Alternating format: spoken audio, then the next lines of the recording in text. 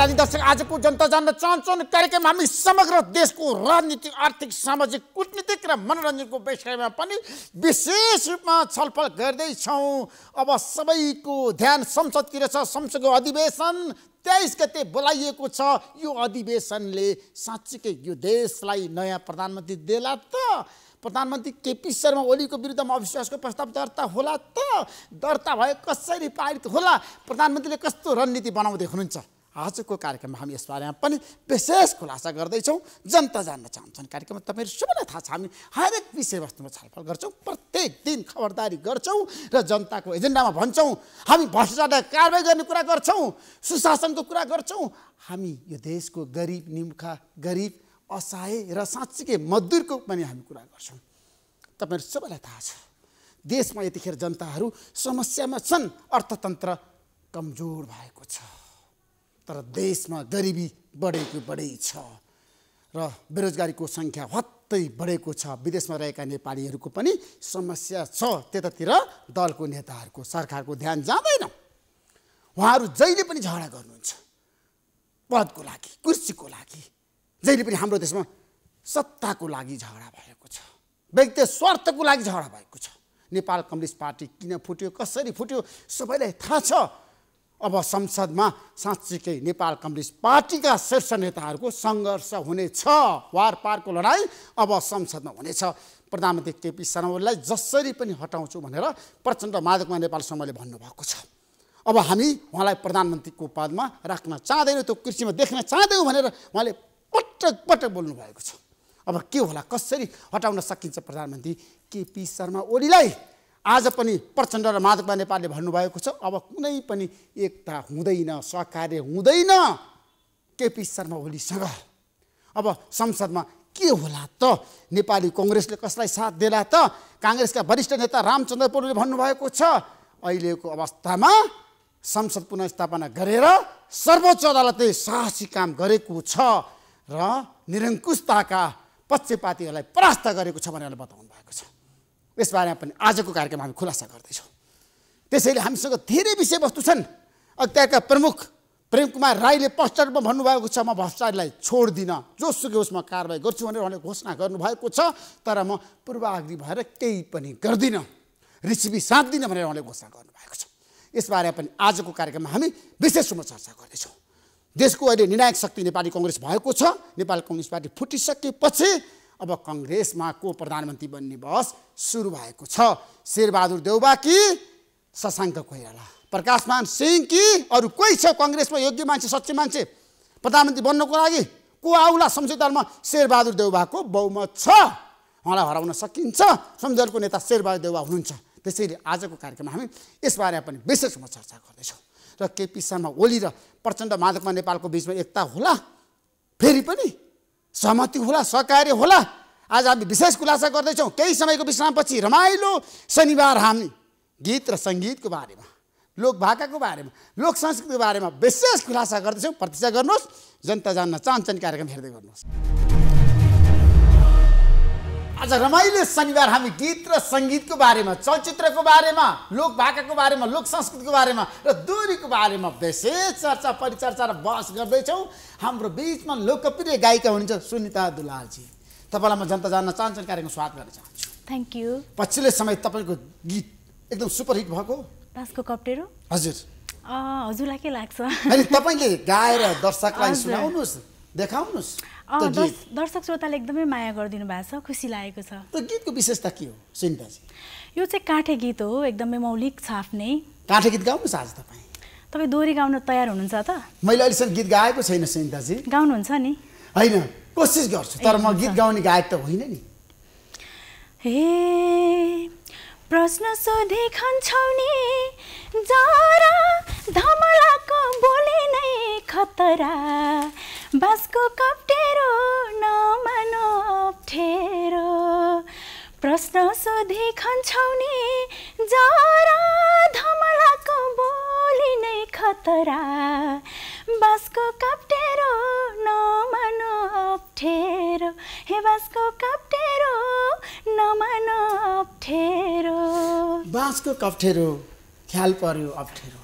के गर्ने सुन्ताजी अब? भन्नुहोस् भन्नुहोस् तपाईँ जनता जान्न चाहन्छु। अब दोहोरी गाउनु पऱ्यो नि त। नजिक आइदेऊ।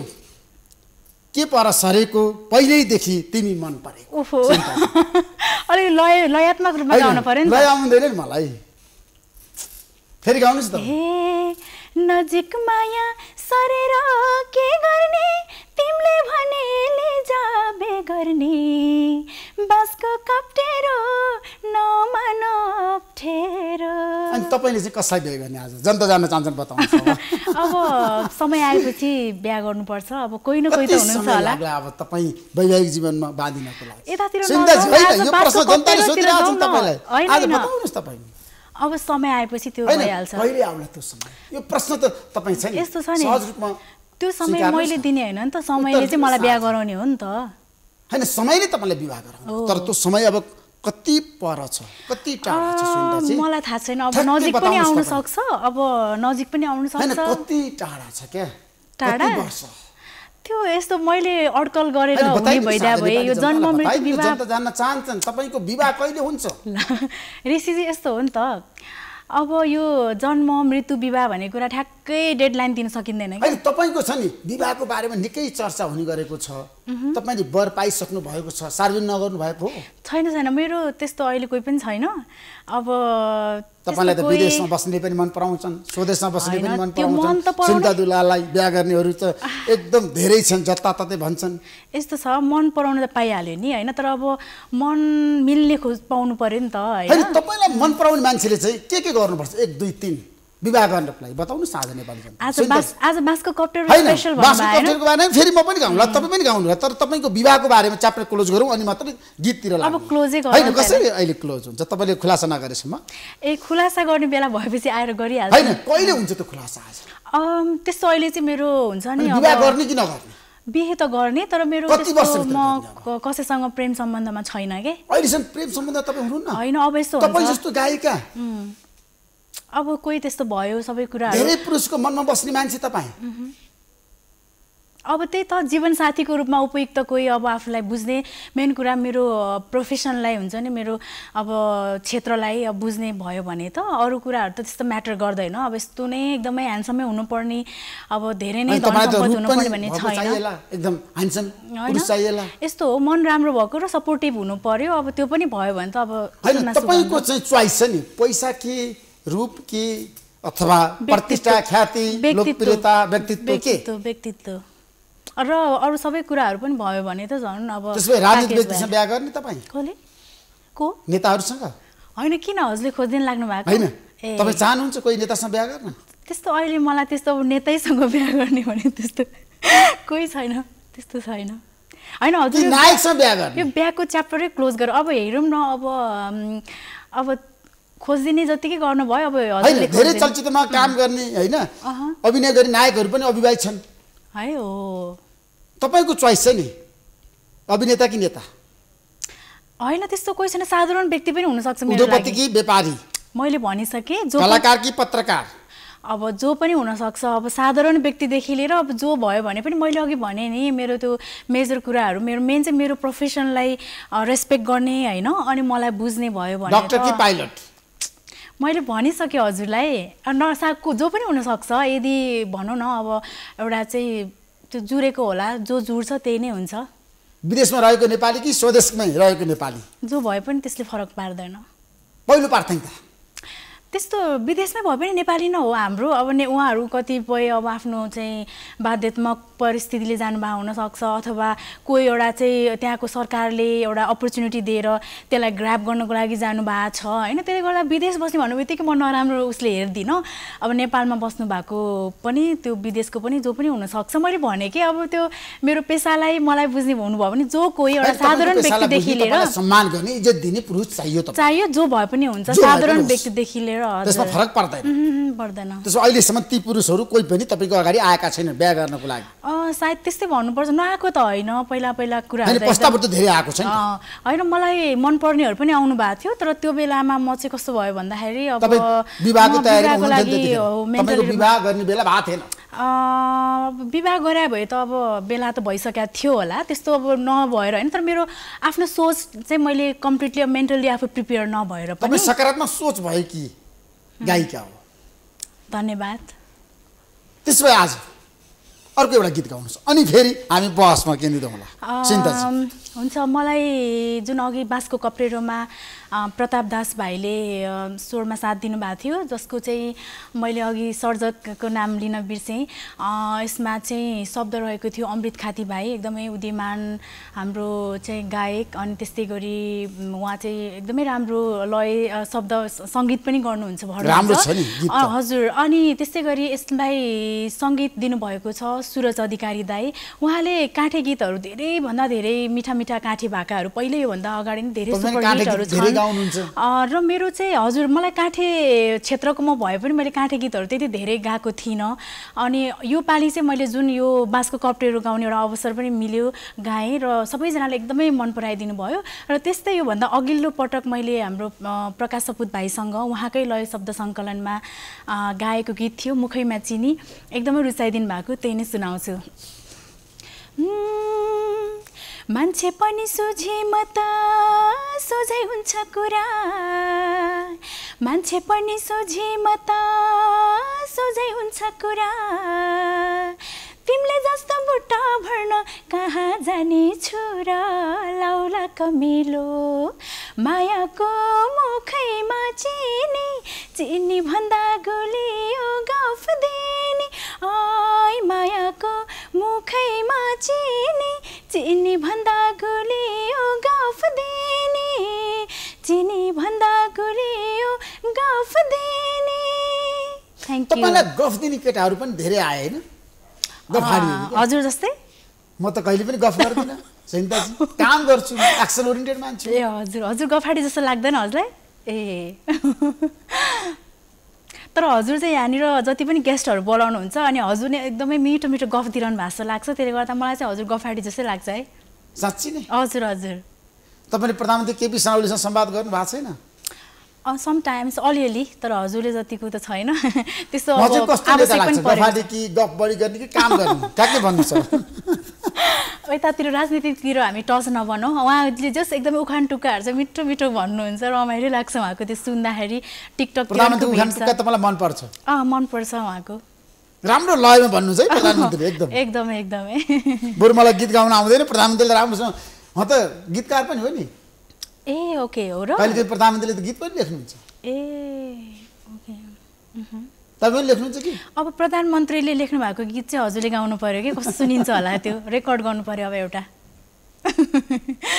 म पनि गीत त अलिअलि अब तिजहरूकोमा चाहिँ म आफू पनि अलिअलि लेख्नुहुन्छ? आफै लेख्नुहुन्छ। होइन अब अरू गीतकारहरूसँगै बसेर यस्तो टाइपको लेखाउन भनेर आफू पनि मेहनत गर्छु। नजिक आइदेऊ के पर सरेको पहिल्यैदेखि अघि त यो त गाइसक्नु भयो राम्रो छ। होइन यो। हो? यो कहाँ यो चाहिँ कसरी लेख्नु भयो नि यहाँले मैले यसो तपाईँको गीत हेरेको थिएँ। ए हजुर हजुर। अनि मन पर्यो यहाँलाई त्यसो भए? राम्रो छ। किनभने गीत र सङ्गीतको पारखीहरू धेरै छ नि सुनिदाजी संसार हजुर हजुर। हो तपाईँले पनि अहिलेसम्म कतिवटा गीत गाउनुभयो? मैले सङ्ख्यात्मक रूपमा त त्यस्तो विधि धेरै त गाएको छैन तर पनि मेरो सबै गीतहरू एकदमै मन पराइदिनु भएको छ र मलाई चाहिँ सङ्ख्यात्मक भन्दा पनि एउटा गुणात्मक नै धेरै दिउँ भन्ने लाग्छ र नर्मल्ली मैले मेरो आफ्नै अब अरूको प्रस्तुति मैले एकदमै एका दुका मात्रै गाएको छु तर मेरो आफ्नो प्रस्तुतिहरू चाहिँ म आफूलाई एउटा भाग्यमानी पनि ठान्छु। मेरो पहिलो गीत मेरो आमाले पकाएको मिठो दर खानलाई फुरफुर परि बसिरहेको छु माइत जानलाई। अनि। घरैमा पाइनौ र दुध र भात खानलाई कति फुरफुर परे कि हो माइत जानलाई भन्ने।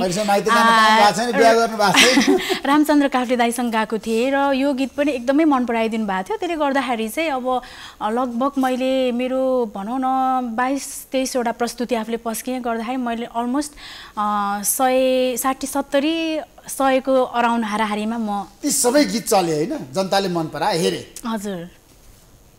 पहिलो गीत तपाईँको कुन थियो जीवनमा? अघि मैले भने नि त्यही आमाले? पकाएको। त्यो गीत अहिले गाउन सक्नुहुन्छ लयमा सक्छु नि। गाउनुहोस्।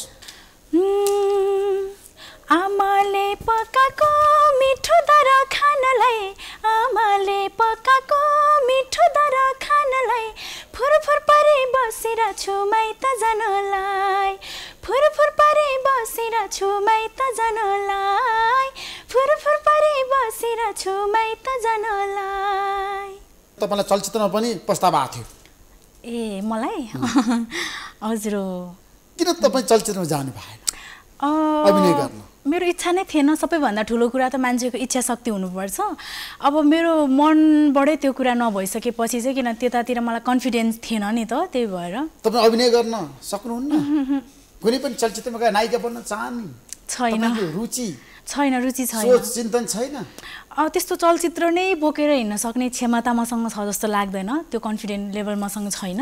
तर क्षमता छैन तपाईँ त नाच्नुहुन्छ त सिन्ता चाहिँ। त्यो त मैले यत्तिकै त्यो तिजहरूमा त अब हाम्रो आमा हजुरआमाहरूकै पालादेखि नाच्नुहुन्थ्यो उहाँहरूले।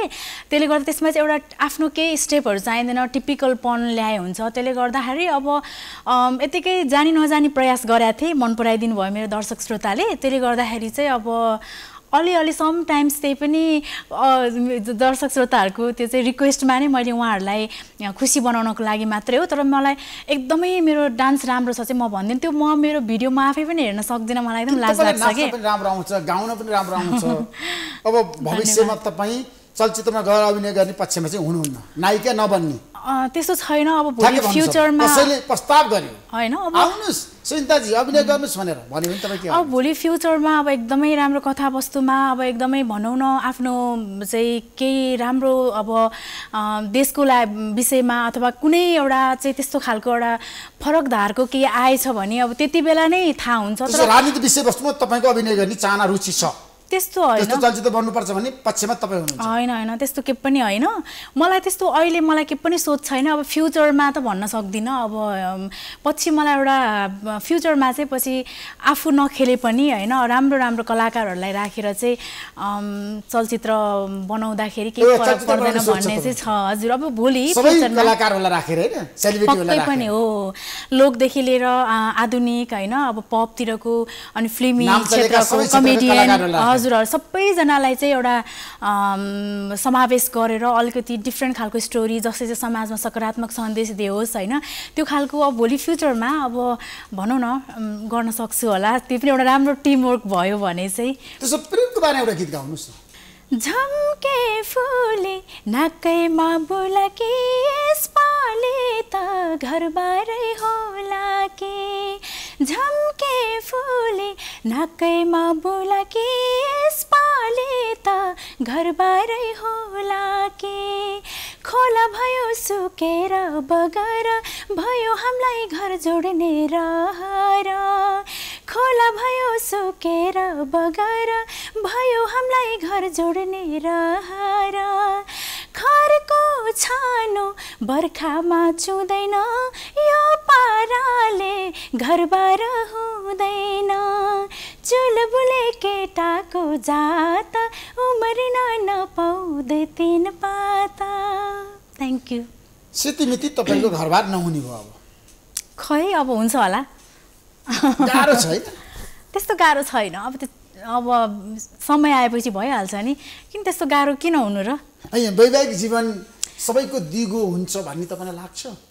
त्यो त दिगो अब आफूले बनाउने प्रयास गर्ने हो नि। अब त्यो त बिहे गर्नुभन्दा अगाडि नै नेगेटिभ भाइब्स लिएर अगाडि बढ्यो भने त त्यो त अभियसली अब त्यसले राम्रो नतिजा त दिँदैन नि। तर अब कति कुराहरू जिन्दगी भनेको एउटा बिहे भनेको चाहिँ एउटा कम्प्रोमाइज पनि हो क्या। त्यसले गर्दाखेरि अलिकति सुनिता दुलालमा चाहिँ सम्झौता गर्न सक्ने क्षमता छ।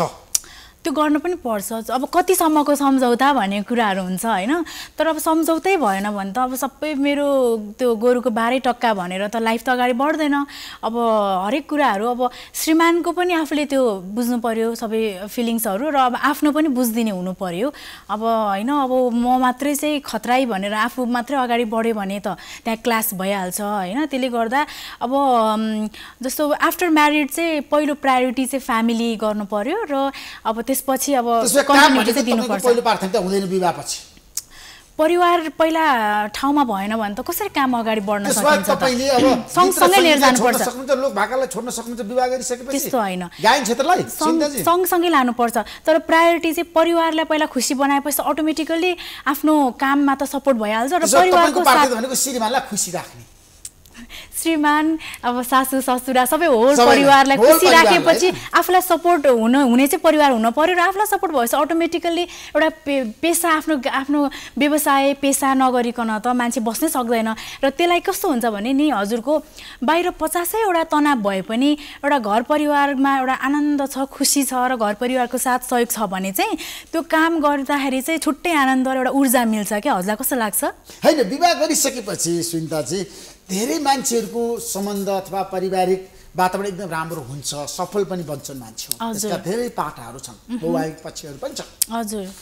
तर नारीहरूले विवाह गरिसकेपछि समाजबाट हराउँछन् बिस्तारै घर परिवारसँग सम्झौता गर्नुपर्ने बाध्यता सिर्जना हुन्छ। धेरैको विश्वमा नेपालमा मात्र। होइन। तपाईँ मलाई आज भनिदिनु जनता जान्न चाहन्छन् सुन्दा दुलाले बिहा गरिसकेपछि आफ्नो क्षेत्रबाट विश्राम लिन सक्छ कि सक्दैन?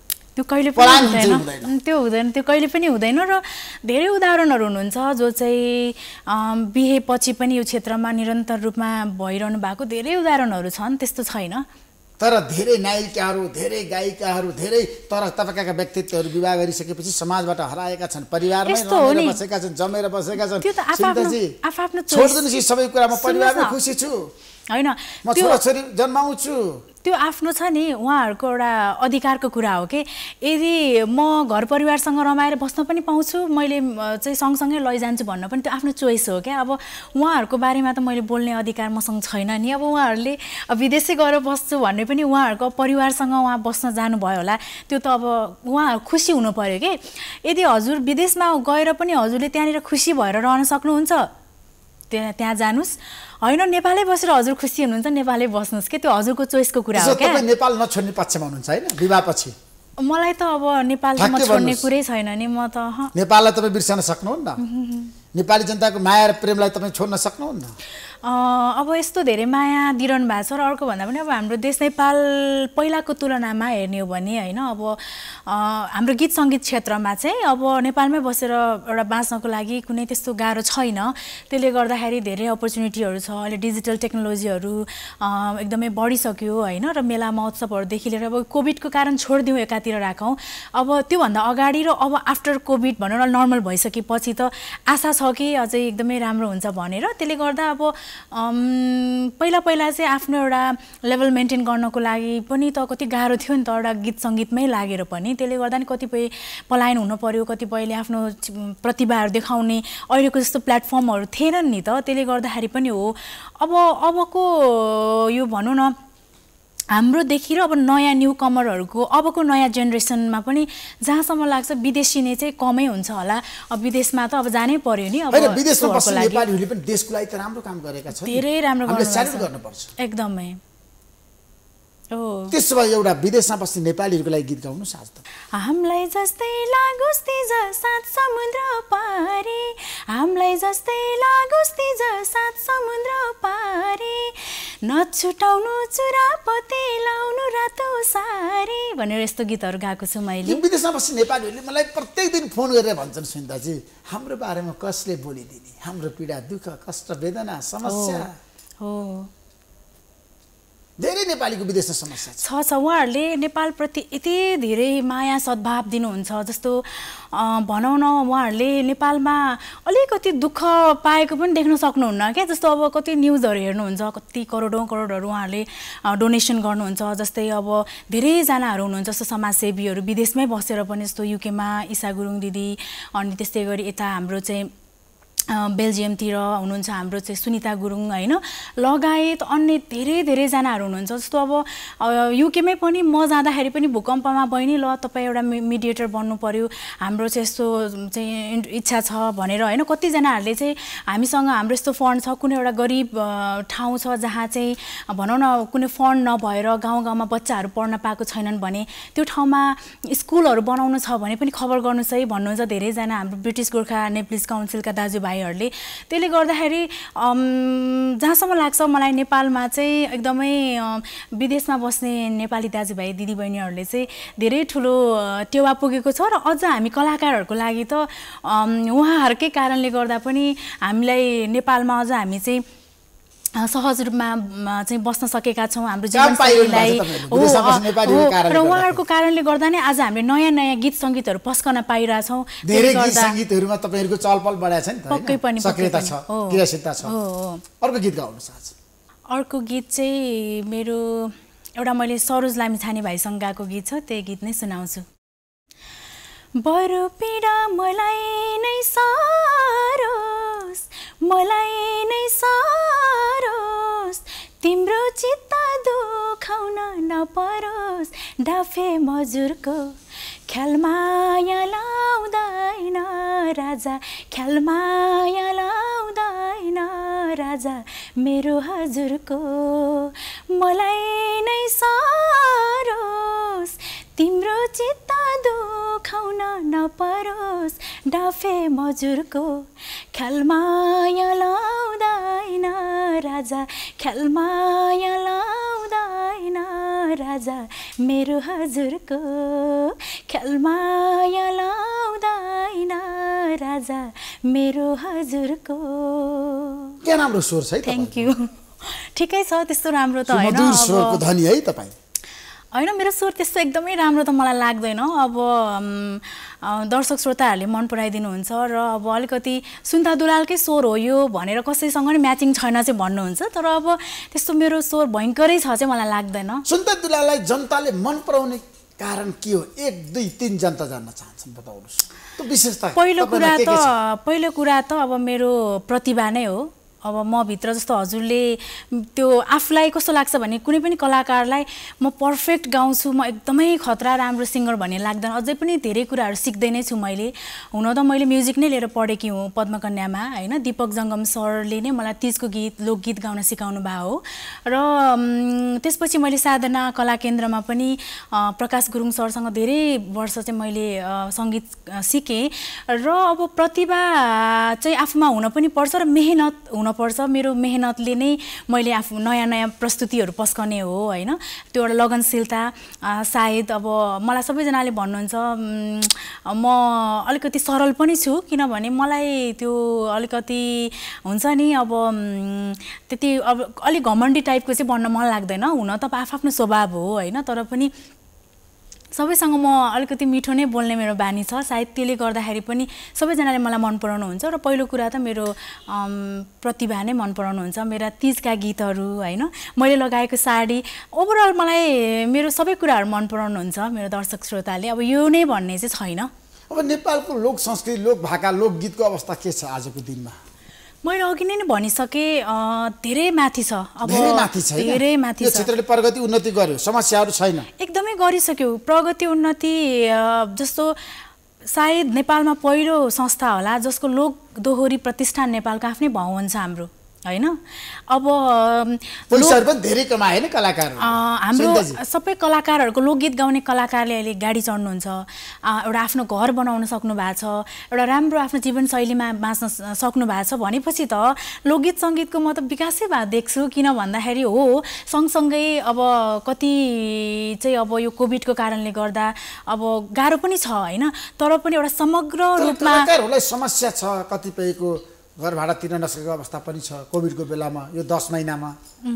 धेरै कलाकारहरू पलायन भयो नि त चिन्ता चाहिँ छैन पलायन त कसरी हुनु? विदेशको खुलेकै छैन। यस्तो छ कि गीत र सङ्गीतबाट ए। खोइ त आज दोहोरी साथ छैन। छ छ अहिले दोहोरी साँझहरू सुरु भयो। सुरु भयो तर सुरु भयो यस्तो छ। त भएन नि त सुन्नु न यो त छ नि। उनीहरू कसरी होइन ऋषिजी यस्तो छ नि त। अब यो विश्व विश्वमा नै यस्तो पाल्नको लागि त समस्या त्यो त। त्यो त यस्तो छ नि त। विश्वमा नै यस्तो भइरहेको बेलामा हामी कलाकार मात्रै होइन। सबैजना नै हामी योबाट चाहिँ हामी भनौँ न अम, उ थियौँ नि त होइन।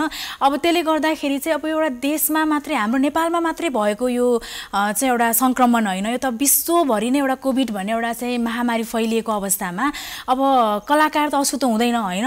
र सँगसँगै अब विभिन्न सङ्घ संस्थाहरू हाम्रै प्रतिष्ठान लगायत सङ्गीतकर्मी सङ्घ होइन? धेरैले चाहिँ अब आफ्नो क्षेत्रबाट हामीले गरेकै थियौँ र अब सरकार पक्षबाट पनि सक्दो त अब गर्नुभएको थियो। अब त्यसले गर्दाखेरि चाहिँ अब हरेक कुरालाई सकारात्मक रूपमा लिनु पर्यो। अब भोलिको लागि चाहिँ हामीले राम्रो सोच्नु पर्यो होइन? अब हामीले यस्तो भएन उस्तो भएन भन्नुभन्दा पनि अब हामी बाँच्नु नै ठुलो कुरा छ क्या यो कोभिडको बेलामा। अब त हाम्रो अलमोस्ट अलमोस्ट नर्मल भयो नि त। अलिअलि म मेला महोत्सवहरू सुरु हुन लाग्यो। त्यसले गर्दाखेरि दोहोरी साँझहरू पनि स्टार्ट भयो। अब चाहिँ सजिलो हुन्छ। तपाईँले कोभिडको बेलामा कतिवटा गीत गाउनुभयो? मलाई चाहिँ कोभिडको बेला के भयो भने म ठ्याक्क अस्ट्रेलियाबाट फर्केको थिएँ होइन त्यसपछि लकडाउन नै भइहाल्यो। मेरो प्रोग्राम थियो। मैले लगभग मेरो यो कोभिड नभइदिया भए त अस्ट्रेलियामा फेरि मेरो अर्को अप्रिलमा नेपाली न्यु इयरमा धेरैवटा टुरहरू थियो कि। अनि पछि म चाहिँ नेपाल आएँ बिचमा मेरो ग्यापिङ थियो अलमोस्ट दस दिन जस्तो। अनि अब होइन नेपालै जाउँ भनेर म यता आएँ। अनि त्यसपछि त लकडाउन भयो। लकडाउन भएपछि त प्रोग्राम सबै क्यान्सल भयो नि त। अनि त्यसले गर्दा यो बिचमा चाहिँ मैले धेरैवटा गीतहरू रेकर्ड गर्ने मेरो अवसर पनि मिल्यो। अब यो बाँसको कप्टेरो पछि चाहिँ अ, शिव परियार दाई हुनुहुन्छ जो सुगम सङ्गीतको एकदमै सुमधुर स्वरका धनी हुनुहुन्छ होइन? उहाँसँग मैले एउटा लोक आधुनिक गीत छ। त्यो चाहिँ। त्यो चाहिँ अहिले गाउन मिल्दैन। त्यो अहिले? त्यो अहिले गाउँदिनँ। होइन त्यो अब एकैचोटि बजारमा होइन, बजारमा आउँछ त्यो।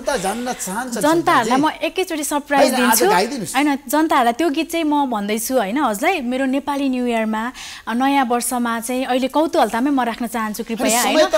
होइन, ठिक छ ऋषिजी। होइन अनि यो चाहिँ अब म नेपाली न्यु इयरमा मेरो चाहिँ गीत। कोसेली स्वरूप आउँछ। र म अहिले म बाँसको कप्टेरो नै एउटा टुक्रा गाउँछु। टिकटकमा एकदमै धेरै मन पराइदिनु भएको। खुसी आधा पछ्यौरी आधा बराबरी बाडौला पिर बाधा बाँसको कप्टेरो नमन अप्ठेरो खुसी आधा पछ्यौरी आधा बराबरी बाडौला पिर बाधा बाँसको कप्टेरो नमन अप्ठेरो हे बाँसको कप्टेरो नमन अप्ठेरो दुत्ता तेरो सिलाए दै हुने तिमीलाई माया गर्ने त मै हुने। बाँसको कप्टेरो नमन दुत्ता तेरो सिलाए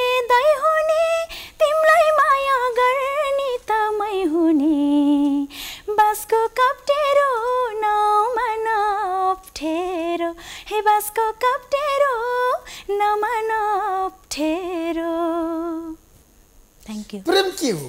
किन गरिन्छ प्रेम? प्रेम त। पहिल्यै त्यत्रो प्रेमको कुरा गर्नुभयो फेरि लास्टमा आएर प्रेममै आउनुभयो। हजुर भन्नु त प्रेम के हो? आज जनता जान्न चाहन्छ। सुन्दरजीको मुखबाट। आज जनताले चाहिँ ऋषिजीले प्रेम के हो भनेको चाहिँ जान्न चाहनुहुन्छ। गरिन्छ? प्रेमको प्रभाव र। मान्छेको जीवनमा छ नि। मुटुभन्दा प्यारो के छ संसारमा भन्नुहोस् त केही छ? सुन्नु न हजुरलाई त अब अनुभव पनि छ प्रेमको होइन? ल भन्नुहोस् त। कस्तो के रहेछ जीवनमा। प्रेमले कतिको धेरै चाहिँ अब भनौँ न फरक पार्दो रहेछ। एकचोटि हजुरको सुनाउ होइन त। प्रेम बिना मान्छे बाँच्न सक्छ। सुन्दरजी बाँच्न सक्नुहुन्छ। त्यो त कोही पनि सक्दैन। इभन एउटा जनावरलाई पनि जनावरलाई पनि त माया चाहिन्छ। पक्कै पनि। जसरी गीत सङ्गीत बिना कोही पनि बाँच्न सक्दैन नि। होइन एउटा जङ्गलमा बस्ने भनौँ न जनावरहरूको लागि पनि चराचुरुङ्गीदेखि लिएर कति एउटा आवाजहरूसँग उहाँहरू चाहिँ आनन्द लिएर बस्नु भएको जस्तै हामी सङ्गीत बिना बाँच्न सक्दैनौँ भने जस्तै प्रेम त हरेक एउटा आमा बाबा बिच प्रेम हुन्छ दिदी बहिनी दाजुभाइ बिच होइन एउटा गर्लफ्रेन्ड बोयफ्रेन्ड एउटा श्रीमान श्रीमती यो त प्रेम बिना त संसार। संसारै अटिँदैन नि त्यसो प्रेम भनेको तपाईँको दृष्टिकोणमा के हो त एक शब्द भन्दाखेरि? धन्न यो चाहिँ प्रेम भनेको एक शब्दमा सोध्नुभयो। मैले त ल अब एउटा गीत गाउनुहोस्। प्रेम सम्बन्धी भन्न लाग्नुभयो कि भनेर सोचेको थिएँ। अहिले गाइसकेँ मैले। प्रेम भनेको चाहिँ भगवान्को अनुपम वरदान हो। प्रेम भनेको चाहिँ एउटा जिन्दगी हो। जिन्दगी हो सबैलाई प्रेम गर्नुपर्छ मैले सबैभन्दा पहिलो। कुरा त हामी सुनिताजीले आफूले आफू- सुनिताजीलाई पनि प्रेम हो गर्नुभएको छ नि। सबैभन्दा पहिलो कुरा आफूले आफूलाई नै प्रेम गर्न सिक्नुपर्ने रहेछ क्या त्यसपछि बल्ल अनि हामी। हामी प्रेम अरूलाई बाँड्न सक्छौँ क्या अब आफूले आफूलाई नै प्रेम गरिएन भने त अरूलाई कसरी प्रेम गर्ने त्यो मान्छेले अरूलाई प्रेमै गर्न सक्दैन कि त्यसो त्यसले गर्दा हजुर गीत गाउनुहोस् अँ।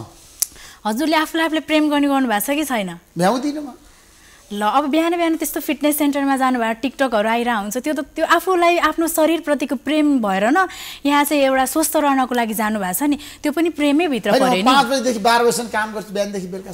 अनि फिटनेस सेन्टरमा गएर पुरा ट्रेडमिलमा हिँडिरह हिँडिरहनु भएको त देखिरहेको हुन्छ त त्यो तर पनि। समटाइम्स भए पनि जे होस् हजुरले आफ्नो स्वास्थ्यको लागि पनि माया गर्नुहुँदो रहेछ त्यो ठुलो कुरा हो फेरि गीत गाउनु पर्यो गाउनुहोस्। हो यहाँ त गीत त धेरै प्र्याक्टिस गरेर अब गीत गाउनु पर्यो है। कुन चाहिँ गीत गाउँ भने? उम्, साँझ आउँदा भन्दछौ जहिले नि भन्दछौ जहिले नि भोलिदेखि पिउँदिन कहिले नि मन बिगार्यो जिस्कने बानीले। मन बिगार्यो जिस्कने बानीले ज्यान बिगार्यो बिजुली पानीले।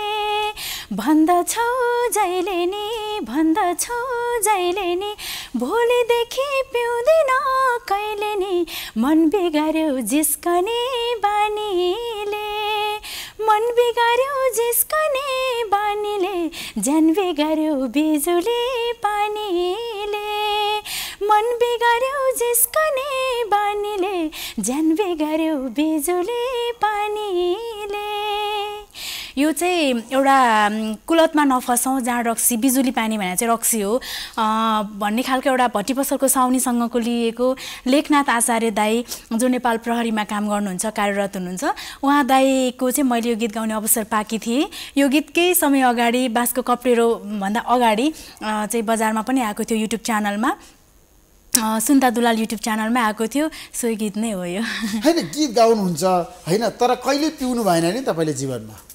त्यो ठ्याक्कै भन्नु सक्छ नडाँटिकन भन्नु त्यो जनताले। आफ्नो इच्छा हो। त्यो यो पनि मलाई त्यस्तो इच्छा लागेन मैले पिइनँ। अब यसलाई सामाजिक पार्टीमा जाँदाखेरि साथीभाइसँग बस्दाखेरि पिउन मन लाग्दैन? जीवनमा? त्यस्तो लागेन। म पिउँछु? तर पानी पिउँछु जुसहरू पिउँछु। हजुर। अहिलेसम्म अल्कोहल पिउनु भएको छैन। होइन अब ठ्याक्कै भन्नुहोस् है मैले त कहिले पिएको छैन अल्कोहल। होइन मैले पनि त्यस्तो अब भनौँ न आफूलाई त्यस्तो पिउन मन लाग्दैन। त्यसले गर्दा खासै त्यो त्यहाँ त्यतातिर इन्ट्रेस्टै छैन मलाई। अस्ट्रेलिया जाँदाखेरि विदेश जाँदाखेरि पिउनको लागि दबाब आउला नि त तपाईँलाई? वाइन खानु? दबाब कहिले पनि आउँदैन। किनभने त्यो अघि नै मैले भने नि आफ्नो इच्छाको कुरा हो क्या भन्न त अब त्यसलाई दबाब भनिँदैन। एउटा कसैले उहाँहरूले मलाई पिउनुहुन्छ भनेर सोध्नुहुन्छ होइन? अब पिउँदिनँ भन्न त मैले पाएँ नि तपाईँले त विदेशमा लिएर जाने नेपालीहरूले भन्छ नि त होइन? खानुहुन्छ के पिउनुहुन्छ सुनिताजी? होइन त्यो त हजुरलाई पनि सोध्नुहुन्छ होला नि होइन? र त्यो त सबैलाई सोध्नुहुन्छ तर अब त्यो त आफ्नो चोइस हो। मैले भनिसकेँ नि समग्र रूपमा पिएको छैन भनेर। तर। पिउनु भनेको यस्तो हो कि त्यसलाई। सुन्नु न त्यसलाई आफूले पिउनु पर्यो त्यसले आफूलाई पिउन भएन के होइन? हाम्रो समाजमा त के भयो भने र त्यसले आफ्नो स्वास्थ्यलाई नै हानिकार हुने गरी चाहिँ पिउँदाखेरि चाहिँ त्यसले अलिकति धेरै कुरा आफ्नो स्वास्थ्यलाई पहिलो कुरा बिगाऱ्यो समाजलाई समाजमा पनि आफ्नो नकारात्मक एउटा चाहिँ सन्देश गयो होइन? आफ्नो परिवारमा त पहिलो असर त पर्यो नै। त्यसले गर्दाखेरि चाहिँ अब त्यो कुरा चाहिँ आफूले एउटा साम सोसियल हुनको लागि सामाजिक हुनको लागि मात्रै पिउन पर्यो। सकभर त नपिउँदा एकदमै राम्रो। अब होइन अब पिउनै मन लाग्छ भने पनि अब आफूलाई रक्सी खानुहोस् तर रक्सीले आफूलाई कहिले नखाओस्। हो पक्कै पनि। तिनवटा गीत गाउनुहोस् लगातार। हजुर। त्यही भएर त हजुरलाई चाहिँ अलिकति अघि कतिको गफाडी हुनुहुन्छ भन्नुहुन्थ्यो नि। हजुर एकदम गफाडी। तिनवटा गीत लगातार त गाउने कुरा भएन। एउटा गीत सुनाउँछु। कुन चाहिँ सुनाउ भन्नु त? यो चाहिँ जनता जान्न चाहन्छन् भन्नुभयो। यो गीत गाउन चाहन्छन् भन्ने हो कि? क्या हो? कार्यक्रमको नाम गीत गाउन चाहन्छु अँ, त्यतिकै सुनाउँछु है त म। यसपालि नि खानी दर जाने मत माइती घर। यसपालि नि खानी दर। जाने मत माइती घर। जाने हो जाने जाने मत माइती घर।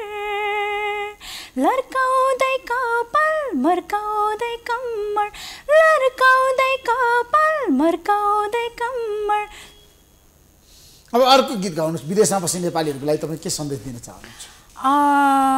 कोही नेपाली विदेश स्वदेशमै बसोस् काम गरोस् दुःख सुख यहीँ साटासाट गरोस् यो चाहिँ मैले खुमन अधिकारीजीको लय शब्द सङ्कलनमा यो गीत चाहिँ लास्ट इयर तिजमा मैले बजारमा तिजभन्दा अलिकति पछाडि लिएर आएको थिएँ जाउँ हिँड सँगै खोरिया फाडमला दुःख र सुख सँगसँगै बाडमला होइन? अनि अर्को शब्द छ "हम्म, तिम्रो साथ पाए के कसमला दैको ठेकी बोकेर बेसी मेलैमा। दैको ठेकी बोकेर बेसी मेलैमा। बरु आधा पेट खाएरै बसौँला नजाउ न माया देशिरेलैमा नजाउ न माया देशिरेलैमा ए नजाउ न माया देशिरेलैमा नजाउ न माया देशिरेलैमा देशको राजनीतिप्रति तपाईँको रुचि कति छ? आज बताउनुहोस् न जनता जान्न चाहन्छ। त्यो त हामी सबैले चासो राख्नै पर्छ नि त्यो अब देशमा के भइरहेछ। अब राजनीतिक अलिकति अस्थिरता हुँदाखेरि कति कुराहरू त अब अलिकति गाह्रो नै हुन्छ नि सबैजनालाई होइन? स्थिरता हुनु पऱ्यो क्या एउटा राजनीतिक स्थिरता छैन। अब अलिकति त्यस्तै भइरहेछ। त्यसले गर्दाखेरि अब अलिकति देशमा चाहिँ अलि राजनीतिक चाहिँ राम्रो भइदियो भने अझै राम्रो हुन्थ्यो। राजनीति विषयवस्तुप्रति कलाकारको रुचि पनि छ कलाकारहरू राजनीतिमा जानुपर्छ भन्ने दबाब पनि छ। तपाईँ भविष्यमा राजनीतिमा जान चाहनुहुन्छ यतातिर म त दर्शक श्रोताले मेरो गीत सङ्गीतलाई एकदमै माया गरिदिनु भएको छ होइन। तपाईँ राजनीतिमै नजाने भविष्यमा। मन्त्री नबन्ने सांसद नबन्ने। होइन अब होइन गीत सङ्गीत गायिका मेरो लागि मन्त्री पोस्टै मेरो लागि सांसद पोस्टै अब गायिका हो नि। अब मेरो म गायिका भनेर नै अहिले अब गीत सङ्गीतबाटै मलाई दर्शक श्रोताको माया पाइरहेको छु होइन। अब धेरैजना हुनुहुन्छ नि मन्त्रीहरू अब लगायत धेरै सांसदहरू। उहाँहरूले चाहिँ देशको लागि केही गर्नु पर्यो। अब उहाँहरूले गर्छु भनेर पनि अहिले अब लागिरहनु भयो होला होइन? तर अब एउटा महिलाहरूको रुचि पनि छ राजनीतिमा पछिल्लो समय त। हजुर। होइन मलाई चासो छ तर अब म राजनीतिक जाने त्यस्तो छैन। होइन अब जनता भएपछि राज देशको राजनीतिकमा अब देशको हरेक कुरामा चाहिँ आफूलाई चासो भइहाल्छ नि हुनै पर्यो नि। होइन होइन मलाई राम्रो काम गर्ने सबै नेतालाई म राम्रो मान्छु होइन। एक नम्बरको नेता तपाईँको लागि को आजको त्यस्तो मैले मलाई त्यस्तो म त्यस्तो त्यो त्यो हुन्छ नि म नम्बर वान नम्बर टू गर्नलाई त्यस्तो मेरो मनमा बसेको नेता काम गरेको नेता। को छ? हजुर भन्नु त यसको जवाब। होइन होइन हजुर भन्नु त। ल हजुर भन्नु त। हजुरको त धेरै राजनीतिक नेताहरूसँग पनि एकदमै राम्रो घुलमिल छ अनि राम्रोसँग नजिकबाट चिन्नु भएको छ र हजुर एउटा पत्रकार भएर ल कुन चाहिँ नेताले चाहिँ देश र जनताको लागि एकदम राम्रो काम गर्यो भन्नुहुन्छ? ल प्लिज जनता जान्न चाहन्छन् प्लिज प्लिज प्लिज होइन मैले हजुरले बिर्सिनु भयो सुन्नु न हजुरले बिर्सिनु भयो म योभन्दा अगाडि लकडाउनमा पनि मलाई यहाँले बोलाउनु भएको थियो। थाहा छ होला नि हजुर होइन? म लकडाउनमा मेरो बेसी बेलामा गीत मैले यही प्रोग्रामबाट पनि सुनाएको थिएँ। त्यति बेला पनि यही प्रश्न मलाई सोध्नु भएको थियो। मैले अलरेडी यसको उत्तर पहिल्यै दिइसकेको छु होइन? राजनीति परिवर्तन भइसक्यो आज हजुरले दिनुहोस् न त ल हजुरको लागि मैले संसद विघटन गर्नुभयो। चुनावमा जानुभयो। सर्वोच्च अदालतले संसद पुनस्थापना गरिदियो। अब नयाँ सरकार बन्नको लागि यतिखेर रस्साकस्सी भइरहेछ। हजुर।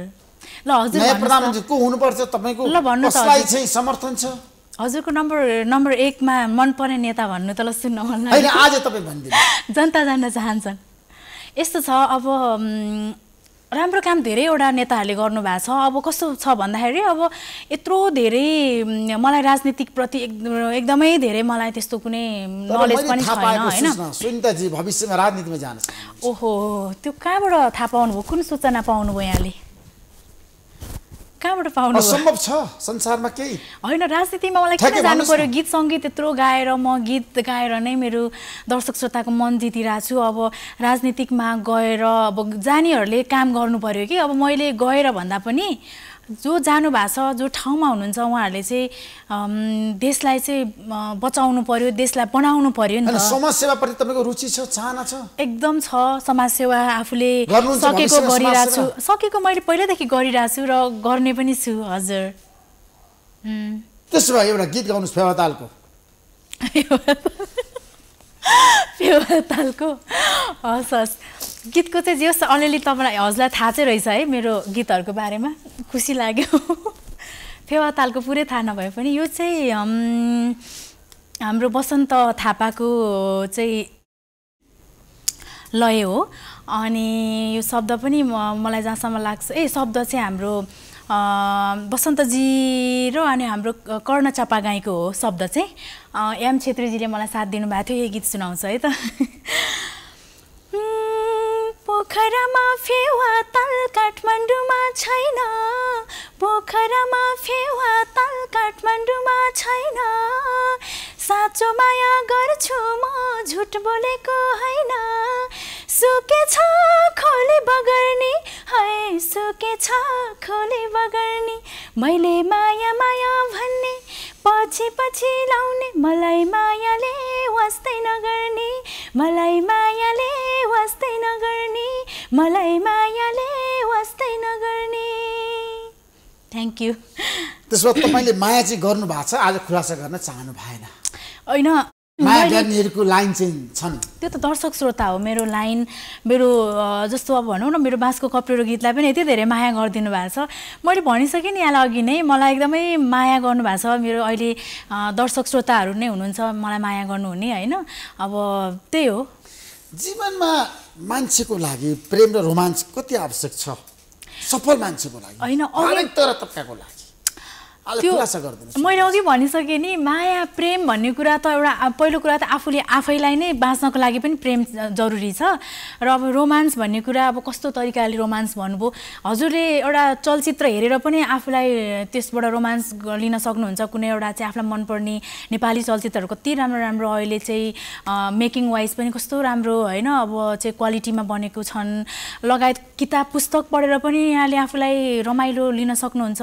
कुनै ठाउँमा भ्रमण गरेर होइन अब अथवा खानेकुराहरू पकाएर हुन्छ कि अथवा आफूलाई मन परेको गीतहरू सुनेर होइन त्यसले गर्दाखेरि अब आफ्नो लाइफ जीवनशैली जीवनशैलीलाई कसरी हजुरले चाहिँ। खुसी राख्नुहुन्छ र जीवनशैली कसरी व्यतीत गर्नुहुन्छ र त्यो जीवनशैली बिताउने तरिकाबाट पनि आफ्नो जिन्दगीलाई खुसी हुन्छ अब तपाईँ पैसा पैसा पैसा सम्पत्ति सम्पत्ति सम्पत्ति भनेर अगाडि बढ्नुहुन्छ भने त्यो कहिले पनि त्यसले आफूलाई खुसी दिँदैन र उसले त्यो उसको लाइफ चाहिँ त्यतातिरै लाग्छ। तर चाहिन्छ भने मेहनत पनि गर्नुपर्छ तर आफ्नो जिन्दगीमा आफूलाई पनि टाइम चाहिँ दिनुपर्छ के? हुन्छ नि? आफूले चाहिँ आफ्नो नेपालका कति राम्रो राम्रो ठाउँहरू छन् विदेश नै जानु पर्दैन। घुम्नु भएको छ अहिलेसम्म देशभरि? जानु भएको छ? म चाहिँ आफूलाई भाग्यमानी कलाकार ठान्छु होइन किन भन्दाखेरि मैले विभिन्न ब्रान्डहरूको चाहिँ टुरहरू हुन्छ कि नेपालको पूर्व छ म सबैतिर? सबैतिर पुगेको छु र इभन एउटा चाहिँ भनौँ न अब साङ्गीतिक टुरसम्म पनि लिएर गएको छु क्या अब घुम्न पनि गएको छु र सँगै साङ्गीतिक टुरको लागि पनि म गएको छु। त्यसो एउटा गीत गाउनु जाँदै दर्शकलाई। जाँदा जाँदै चाहिँ यहाँले एकदमै मलाई मेरो मन पराइदिनु भएको गीत छ। बाँसको कप्टेरो त्यही नै गीत थोरै सुनाउन चाहन्छु। भोकलाई भोजन तिर्खामा मै प्यारो छैन मलाई तिमी झै कोही प्यारो। बाँसको कप्टेरो नमान अप्ठेरो भोकलाई भोजन तिर्खामा मै प्यारो छैन मलाई तिमी झै कोही प्यारो। बाँसको कप्टेरो नमान अप्ठेरो हे बाँसको कप्टेरो नमान अप्ठेरो तपाईँको नजरमा एकजना ह्यान्डसम पुरुषको नाम लिनु पर्यो भने कसको लिनुहुन्छ आजको दिनमा? यो कार्यक्रममा। Rishi Dhamala. Thank you so much नमस्ते। नमस्ते थ्याङ्क यू